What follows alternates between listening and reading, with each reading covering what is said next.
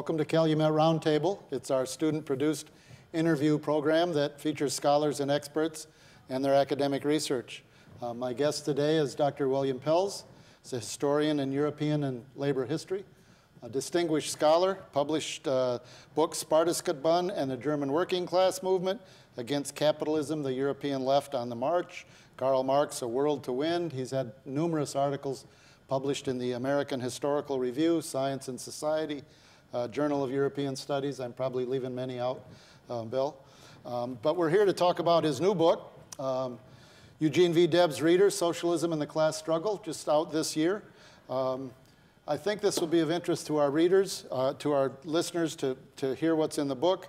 Uh, there's three reasons I think that we may be interested in this for the Calumet Roundtable. Uh, the first, you probably know this, that Debs is from Indiana, mm -hmm. Terre Haute. In fact, he has a, uh, his birthplace is now a historical site, even though it's not recognized by the uh, official uh, officialdom. It's supported by uh, largely by donations. Uh, the second reason is that we're entering the 21st century, and it's interesting to note that the social movements and even electoral support for socialism is on the rise almost everywhere, from Venezuela to Bolivia to Spain to Greece. Exactly. Even in the U.S., you probably know uh, the city council member that was elected for uh, in Seattle, uh, Kshama Sawant, mm -hmm. and I understand the labor movement in Ohio took its distance from the Democratic Party and have talked about a labor party. So there's some similarities um, between, I guess as a historian, this uh, rings well to your ears that we can learn things from the past. Um, and actually, that's where I uh, would like to start.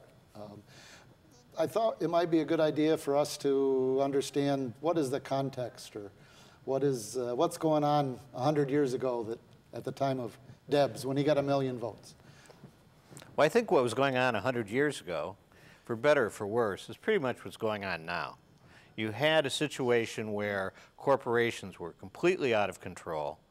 The common people were being pushed to the wall. Unions were being smashed and victimized. And more and more average people felt there was no way they could, they could get ahead. And people like Debs, who didn't start out as a socialist, he actually was a Democrat. I believe he was on the Terre Haute City Council as a Democrat. He saw at a certain point, having tried to form and successfully lead the American, uh, American Railroad Workers Union, that it was smashed using the Sherman Antitrust Act, claiming that labor unions were a violation of free trade. And he was sent to jail in Woodstock, Illinois. And there is where he started reading and thinking, and he emerged from that jail as a socialist, realizing. When, when would this be? This is a, in the late 19th century. Okay. Big Pullman strike. Okay. 1890s. And he realized that you had to do something fundamental to change the system, that trying to work within the two-party system and within just the rigid confines of craft unionism, none of that was going to be enough. You had to have something more. And so he gets active in the, in the, the, socialist movement and ultimately is able to be one of the key figures in a merged socialist party, which becomes a very important uh, third force in American politics. I, um, I read that he received a million votes in 1912. And if you talk about the size of the population, which at that time was 90 million, and half of the people couldn't vote because they were women, this was, and he got a million votes which would be about uh, 7 million votes today. I mean, that just boggles the mind to think that somebody that was running as a socialist could receive 7 million votes. Um, were there, are, are, there other reasons um, for that? I, I, guess at the time it would be an upsurge of, uh, of interest in socialism, the idea that we live in different social classes. It just seems uh, difficult to fathom in today's um, politics that there are classes well, there's been a lot of attempts, many successful, to just promote a consumer society where you're defined not as how you work or how you live, but rather what kind of clothes you wear. You want to be an individual, so you have to go out and buy this particular brand of clothes that only 50 million of your closest friends also wear. Uh, and so there's been an attempt to try to do away with class consciousness somewhat successfully. But when times get tough, it becomes apparent that some people have control of the society, and some people don't. In other words, if you rob a bank, you go to jail. If you steal a bank, you become important, and you probably become a member of either a Democrat or a Republican's presidential administration. I'm thinking of Goldman Sachs, for, for instance. I, I, I don't, I don't remember the exact quote, but you, you reminded me of something what Deb said about a bank robber. Do Does that r- ring a bell Right. for He, you? eh, he talks about bank robbers. Again, they're just petty crooks. The same thing he talks throughout about, you know, people who are con- considered crimes, economic criminals. They really lower the boom on them, right? So if you stick up somebody, that's a big deal. On the other hand, if you rob from thousands or hundreds of thousands, that's called, you know, entrepreneur. You're the historian. Um, Deb's uh, is a uh, important, I would argue, an important historic figure. If you got a million votes, and at a time when there's 1,500 elected socialists in the United States, and he's traveling across the country. But like I said at the top, his home is not a historical monument. Why don't we know um, more about Debs? Well, I think there's been concerted effort to just bury him. So, like, for example, a lot of high school history textbooks and college history textbooks will talk about the 1912 election, and instead of listing Debs' votes, which would be about 6% of the total, they just have others. Uh-huh. Right, because they don't want to talk about his campaign. Now, 1912 was, was a four way race where you had Teddy Roosevelt, you had Taft, you had Woodrow Wilson, and you had Debs. So it's not just that Debs got a lot of votes and pure protest votes. Political scientists and historians have studied he threw the race in one state after another to one of the other candidates. The other thing I want to point out, as Deb said, I would not be Moses to lead you to the promised land, because if I could lead you in, somebody else could lead you out, mm-hmm.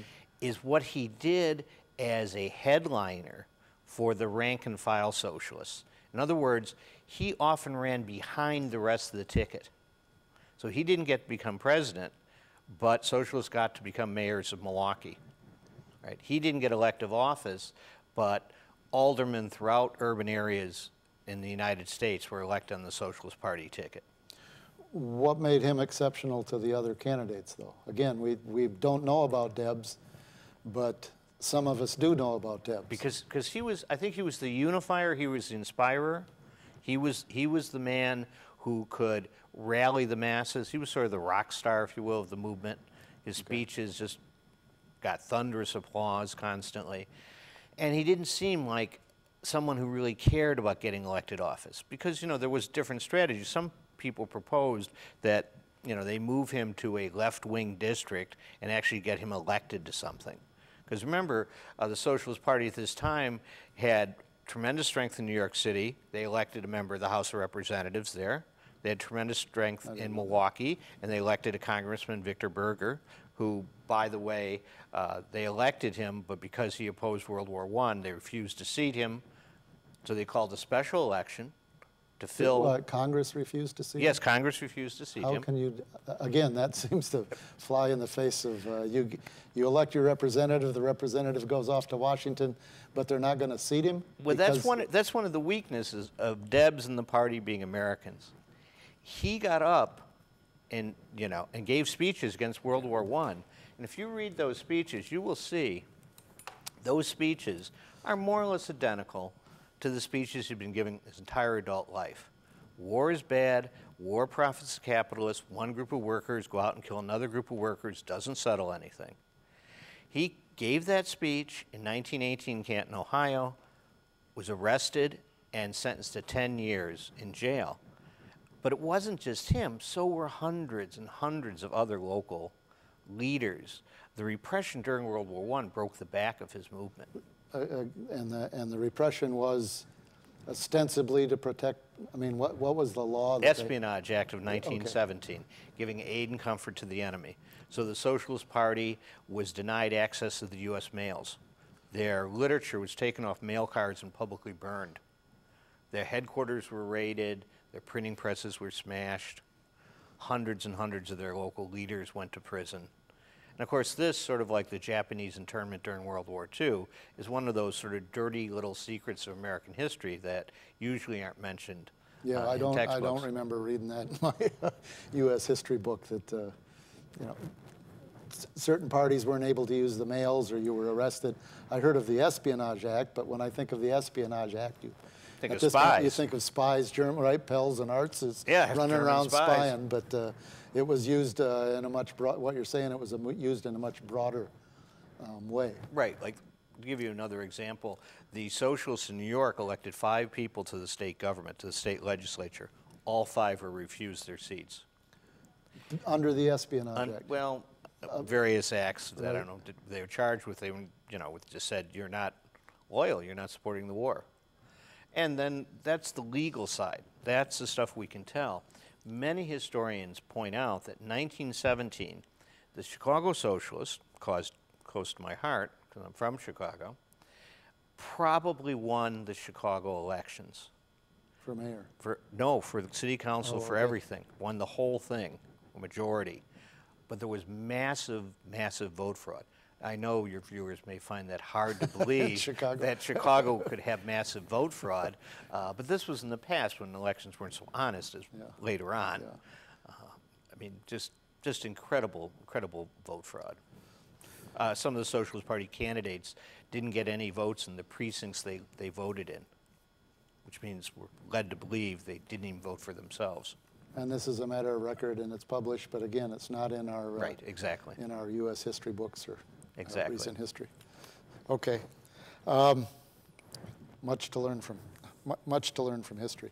Um, we're going to have to take a break in a in a minute, um, but I thought that you might uh, start us for what I want to talk about in the second half. I remember a quote, and I'm hoping we can read some quotes from the book. Uh, said something to the effect that. Uh, why he wouldn't support a Democrat or Republican. He said, uh, I, I would rather vote for something that I want and not get it than vote for something that I don't, Don't want and get it. Um, it seemed like in the 20th century there was a different way of dealing with political parties other than the Democrats and Republicans, just not letting them take their seat. But in today's um, era, there isn't even, in most cases, a third party or a fourth party. But, but it's the same process. Why bother to prevent them taking their seat? Why not just keep them off the ballot? And if you can't keep them off the Well, ballot, that's what we do now, right? Yes, it- yeah, and if you can't keep them off the ballot, don't allow them any television time. Don't allow them in the debates. Because if you could get a socialist and reasonably get them on the ballot, and then they'd participate in the candidate debates that were on TV, then I'd like to see how well they do. Well, our experience is that uh, they get elected.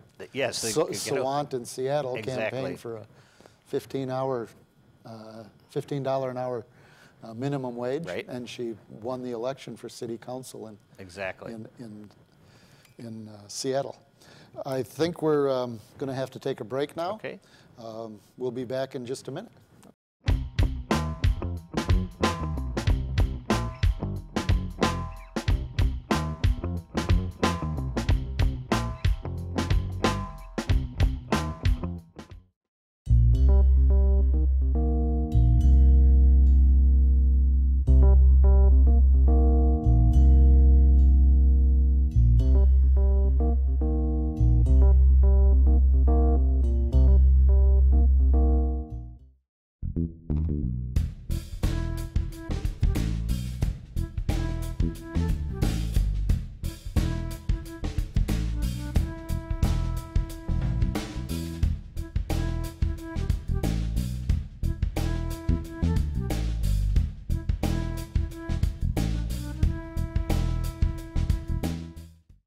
Welcome back. This is the Calumet Roundtable. I'm your host, Lee Artz.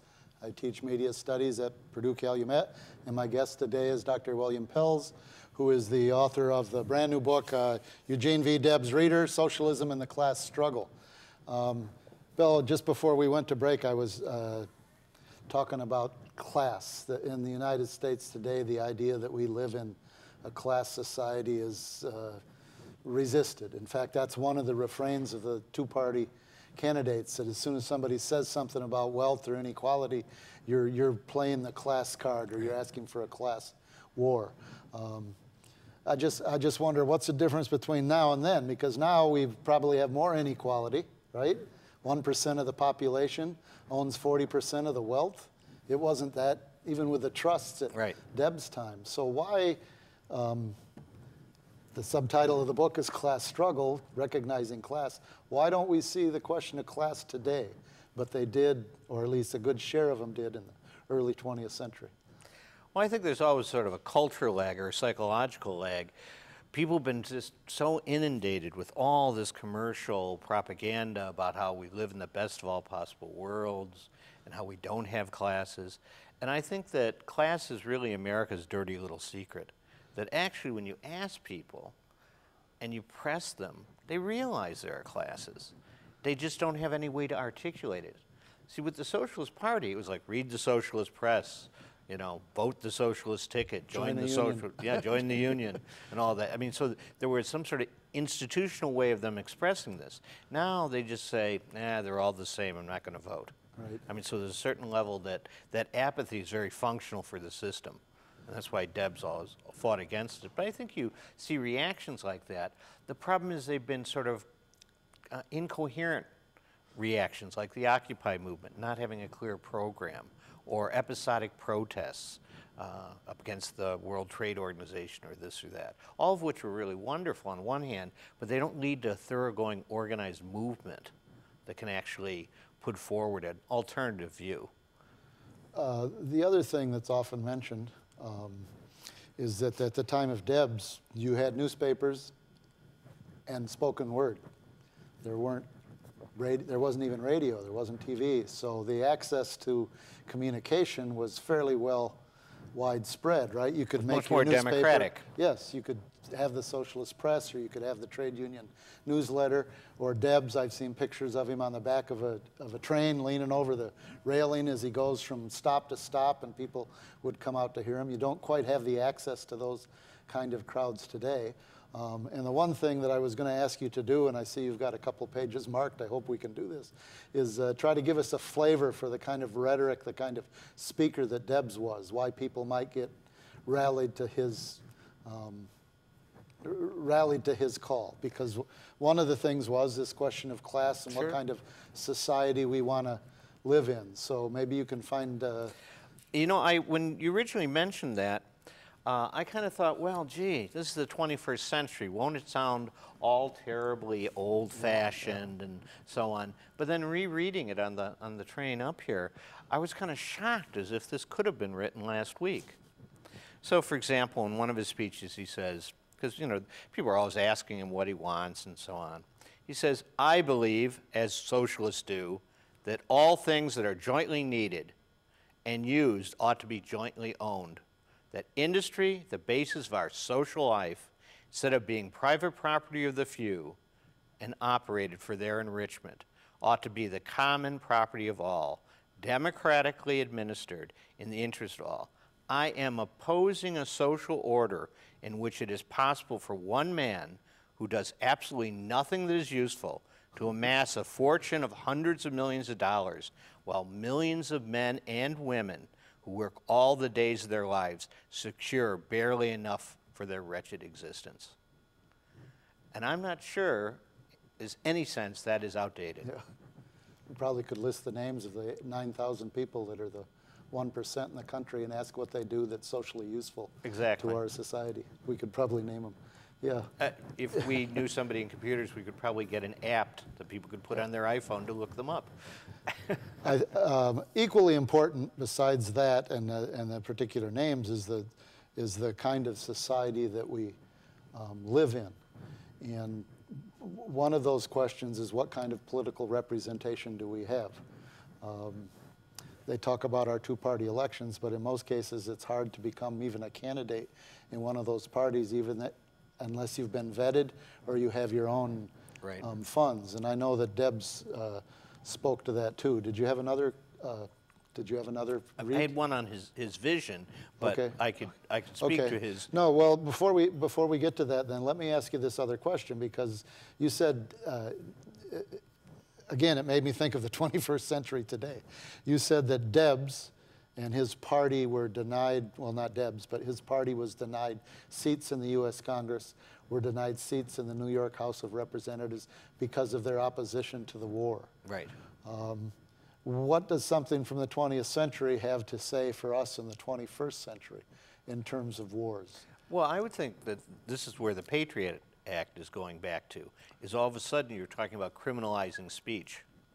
So they've never, the Supreme Court has never repealed their monumental decisions of Debs versus United States, Schenck versus United States, and Abrams versus United States, the holy trinity or unholy trinity of decisions, where they basically said the First Amendment doesn't apply in the times of national emergency. And that's what they sent Debs to jail for? Yes, because he was never accused of bombing or encouraging bombing or any sort of terrorist act. He was accused of undermining the war effort by speaking out and making people question the war. And what, spe- what was that, in one speech or many speeches? Many speeches, but Canton's the one, specific one they Canton, went. Ohio, Canton, Ohio speech from the back wrote- of a train? Or No, was it in a, It was in an a assembly? big yard, yeah. Okay. And, but they, they had a stenog, governor, a government stenographer there taking down Is that the speech in this book? Yes, it is. The Canton, Ohio speech. So Yep. if people want to see what you could say in 1912 that would throw you in jail, um, get a, get- essentially, right? Exactly. You can't say these I mean, things. 10 years in a federal penitentiary, I mean, we're not talking about some sort of slap on the wrist. I mean, that's, that's pretty bad. And they took it, you know, and again, that was one of, I think, the failings of Deb's movement is they really did believe in the Bill of Rights. And they had all these liberal lawyers, I think including Clarence Darrow, telling them, this is a violation of the Bill of Rights. We're going to win this on appeal. And they didn't. Okay. They, they So does that it. mean we don't believe in the Bill of Rights? No, he very much believes in the Bill of Rights. He just thinks they should be enforced. Okay, so they, so they were believing that not only that it, that it exists and it's a good thing, but they trusted that the institutions would support those. That's what they Bill of. Rights, and they find out that that's not the case. Right. Okay. That even the big liberal justices in the Supreme Court said freedom of speech does not mean the right to yell fire in a crowded uh, theater. Famous statement. That's in the Supreme Court justice. I want to say it was Brandeis. I don't know. I forget. Yeah, I've, we hear that all the time. Have the Another thing that seems different now than 100 years ago is it seemed like 100 years ago there wasn't uh this widespread public animosity to any, anything that ended with an ism, like socialism, anarchism, communism, Marxism, Debsism, right? I mean, but today there seems, you know, don't call me a feminist, I'm not a feminist. Or, or uh, the more recent one that just boggles my mind is Islamist. Um, I could not imagine somebody saying Jewist and getting away with it, but Islamist somehow seems to be a label that's used. So at the same time, there seems to be a resurgence of uh, what? The critique of capitalism as a system that meets our needs, um, not even not abroad, but also in this country. So in that sense, uh, um, again, the subtitle of the book is Socialism and Class Struggle. What kind of society or what kind of socialism would Debs have been um, asking us to look at? And I, I Yeah, think that's the well, other. he basically said, and I'm quoting directly here from his magnificent speech I can see a world where thrones have crumbled and where kings are dust. The aristocrats of idleness have perished from the earth. I can see a world without a slave, man at last free. Nature's forces have by science been enslaved lightning and light, wind and wave, frost and flame, and all the secret subtle forces of the earth and air are the tireless toilers for the human race. I can see a world of peace, adorned with every form of art, with music's myriad voices thrilled, while lips are rich with words of love and truth. A world in which no exile sighs, no prisoner mourns, upon which the shadow of the cruel gallows no longer falls. I can see a world where labor reaps its full reward and work and worth go hand in hand. I can see a race without disease of flesh or brain, shapely and fair, married harmony of form and function. And as I look, life lengthens, joy deepens, love canopies the earth, while overall in the great dome there shines the eternal star of hope. Thank you. Thank you. It's uh, a lot longer than a soundbite we might hear in a campaign speech today. It's almost poetic, but it gives you an idea that, uh, that uh, a socialist like Debs was a real humanist and somebody that was interested in the, the welfare of the entire world. So Uh, I, ho- I hope people, I hope your book does well. I hope people uh, uh, turn to history, um, your profession. This, this, is kind of a tag question. We don't have a lot of time, but I understand that Debs um, did not participate in the internal debates in the Socialist Party. And I wonder if you could talk to that. And you mentioned before Occupy Chicago not having a political program. What does that tell us, kind of the negative of the Debs legacy? I think the negative of the Debs legacy is, is really that he didn't have a clear conception of how a political party should be organized. How to get from here to there? how to get from here to there. He really had a lot of almost, you might say, naive faith that it would evolve out of the growth of the movement and out of exercise of free speech and free elections. He didn't have a really vision of how he would deal with, for example, government repression. So outstanding organizer, outstanding orator, outstanding speaker, major figure, but didn't necessarily put it together in a program that, in that could program. move us forward. Yes. But on the other hand, I just want to quickly interject. He was one of the foremost leaders for his time in advocating complete equality for African Americans. Yep. And the Socialist Party, unlike the Democratic and Republican Party, accepted African Americans as completely equal members. In fact, the last part of this book is a speech he gave before a rally to elect A. Philip Randolph to uh, district committee from, from New York when he was running as a Excellent, socialist. Excellent. It sounds like there's a, ma- many things we could learn from this brief glimpse of history. I thank you for doing the book and thank you for joining us here today. This is Calumet Roundtable. Um, Thank you for tuning in, a student-produced interview show with academics and researchers. Um, We will see you next time. Thank you.